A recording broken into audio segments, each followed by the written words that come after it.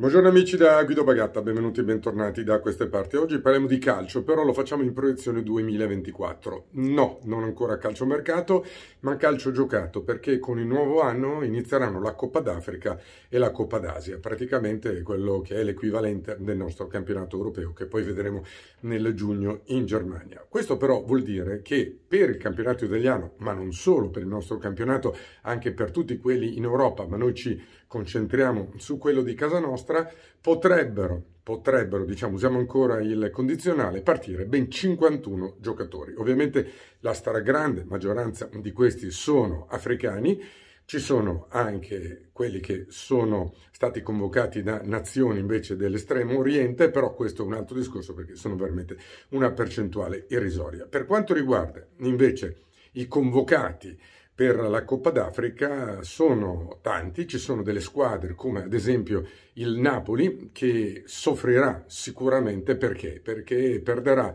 Osimen che andrà a giocare con la Nigeria che peraltro ha tantissimi, tantissimi protagonisti nel nostro campionato che hanno già risposto sì alla convocazione del loro CT oltre a Osimen il Napoli perderà anche Anghissà. Quindi due protagonisti, due titolari nel Napoli che aveva vinto ovviamente lo scudetto con Spalletti e due titolari chiari anche in questo caso quest'anno nella gestione attuale di Mazzari. Lo erano anche con Garcia, ma quella l'abbiamo dimenticata come gestione e come periodo. 51 dicevamo in tutto. Ci sono delle squadre che andranno più in sofferenza, per assurdo una di queste, la Salernitana, che sta lottando per non retrocedere quest'anno ed è probabile che a gennaio arrivassero i soldi, la proprietà concedesse appunto un'iniezione di denaro, la Salernitana cambi tantissimo, si dice addirittura 6 undicesimi di quelli che stanno giocando da titolari. Dicevo, la Salernitana a proposito di 6 perderà 6 giocatori. Il Milan 2, eh, Benasser e Ciucueze, con la possibilità però che il primo dei due non risponda sì alla chiamata, ci sono ancora dei dubbi che saranno ovviamente sciolti e risolti in questi giorni.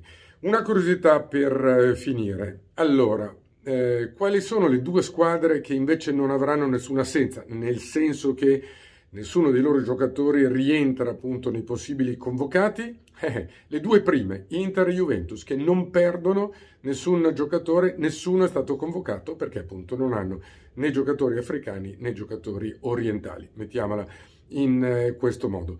L'impegno per quelli convocati, beh, tutto il mese di gennaio con qualcosa in più per febbraio in caso la loro nazionale vada fino in fondo, perché ovviamente tutto è legato anche per quanto tempo durerà la uh, corsa della nazionale in questione, mettiamo la Nigeria di Osimen, se andasse in finale il Napoli recupererebbe il suo attaccante più o meno a metà febbraio, il che per tutto l'entourage dei campioni d'Italia sicuramente non è una buona notizia. Bene, detto questo noi ci vediamo da queste parti ancora domani. A tutti un abbraccio e arrivederci.